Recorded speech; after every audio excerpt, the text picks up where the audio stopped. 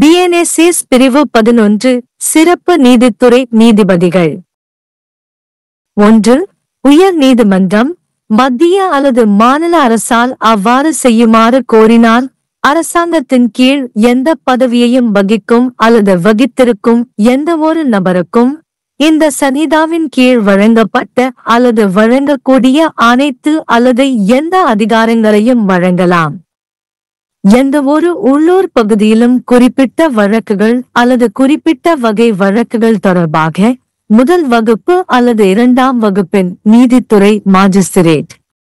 உயர் நீதிமன்றம் விதிகள் மூலம் குறிப்பிடக்கூடிய சட்ட விவகாரங்கள் தொடர்பான தகுதி அல்லது அனுபவம் இல்லாதவரை அத்தகைய அதிகாரம் ஒருவருக்கு வழங்கப்படாது.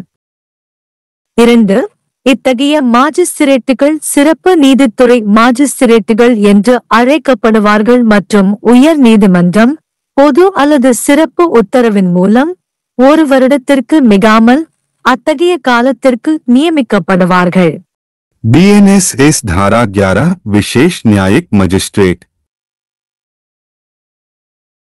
एक यदि उच्च न्यायालय केंद्रीय या राज्य सरकार द्वारा ऐसा करने का अनुरोध करता है तो वह किसी ऐसे व्यक्ति को जो सरकार के अधीन कोई पद धारण करता है या कर चुका है, किसी स्थानीय क्षेत्र में विशेष मामलों या मामलों के विशेष वर्गों के संबंध में प्रथम श्रेणी या द्वितीय श्रेणी के न्यायिक मजिस्ट्रेट को इस संहिता द्वारा या इसके अधीन प्रदत्त या प्रदत्त की जा सकने वाली सभी या कोई शक्ति प्रदान कर सकता है।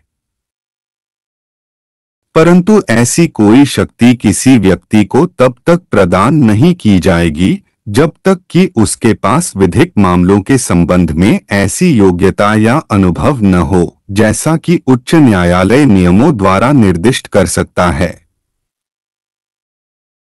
दो ऐसे मजिस्ट्रेट विशेष न्यायिक मजिस्ट्रेट कहलाएँगे और उन्हें एक बार में एक वर्ष से अधिक अवधि के लिए नियुक्त किया जाएगा। जैसा कि उच्च न्यायालय सामान्य या विशेष आदेश द्वारा निर्दिष्ट कर सकता है।